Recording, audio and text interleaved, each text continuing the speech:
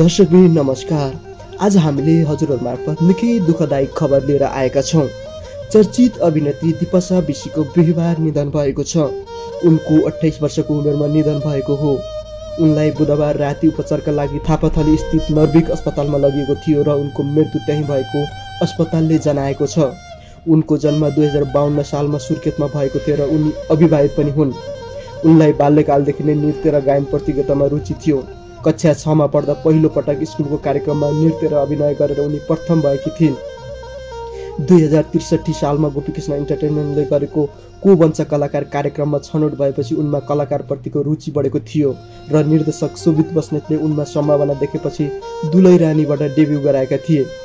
चलचित्र कलाकार सङ्घका अध्यक्ष मोहन निरौलाका अनुसार विष सेवन गरेर सिकिस्त भएकी विशीको उपचारको क्रममा निधन भएको बताइएको छ।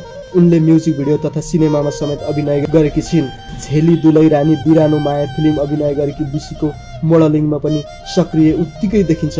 पक्कै पनि दर्शकबिन तपाईँहरूलाई यो दुःखद खबर कस्तो लाग्यो? किन दिपासा विषीले विष सेवन गर्न बाध्य भइन् होला तपाईँलाई कस्तो लाग्छ? मनमा लागेको कुरा कमेन्ट बक्समा व्यक्त गरिदिनु होला र तपाईँहरूलाई हामी निरन्तर रूपमा फलोअप गराउने नै छौँ। तबसम्मको लागि हाम्रो भिडियोलाई लाइक गरिदिनु होला साथै हाम्रो पेजलाई फलो र भिडियो सेयर गरेर हामीसँगै जोडिनु होला